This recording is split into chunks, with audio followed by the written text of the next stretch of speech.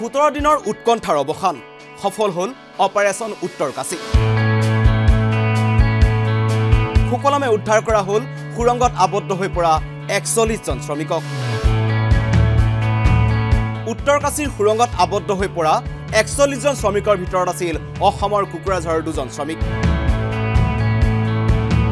উত্তৰ কাশীৰ সুৰংগত আবদ্ধ হৈ পৰিছিল কোকৰাঝাৰৰ ৰামপ্ৰসাদ নাৰ্জাৰী আৰু সঞ্জয় বসুমতাৰী। তাৰ পিছতেই দুয়োখন ঘৰত লাগিছিল হাহাকাৰ।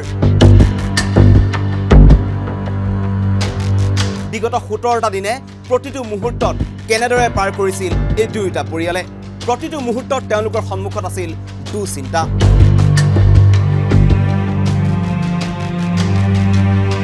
অতি কষ্টৰে পাৰ কৰিছিল এই দুৰ্বিষহ সোতৰটা দিন।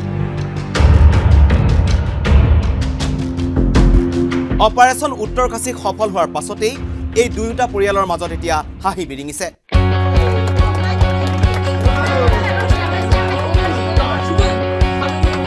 আপোনজনক ঘূৰাই পোৱাৰ পাছত উৎফুল্লিত হৈ পৰিল এই দুয়োটা পৰিয়াল।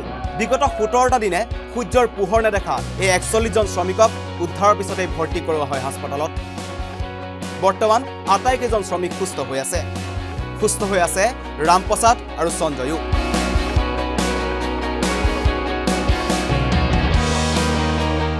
অপাৰেশ্যন উত্তৰ কাশী সফল হোৱাৰ পাছতেই সংবাদ মাধ্যমৰ আগত এনেদৰে ক'লে ৰামপ্ৰসাদ আৰু সঞ্জয়ৰ পৰিয়ালে।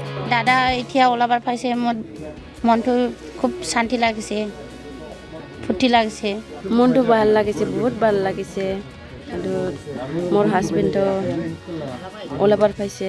সোতৰটা দিন সুৰংগত দিন অতিবাহিত কৰা এই একচল্লিছজন শ্ৰমিকৰ ধৈৰ্য আৰু সাহসক প্ৰশংসা কৰিলে দেশৰ প্ৰধানমন্ত্ৰী আৰু ৰাষ্ট্ৰপতিয়ে।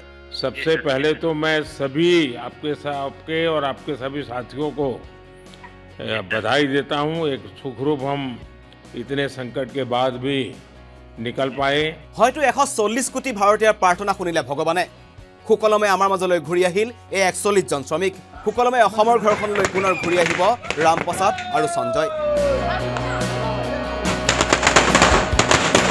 আমাৰ বাবে খুব আনন্দৰ বিষয় আৰু সন্তুষ্টিৰ বিষয়। যথেষ্ট চিন্তা আছিলে অসমৰো দুজন আছিলে। প্ৰধানমন্ত্ৰী নৰেন্দ্ৰ মোদী ডাঙৰীয়া উত্তৰাঞ্চলৰ মুখ্যমন্ত্ৰী ধামী ডাঙৰীয়া আৰু আমাৰ গোটেই এন ডি আৰ এফ সেনাবাহিনী সকলোৱে লগ লাগি অসম্ভৱ এটাকো সম্ভৱ কৰিলে।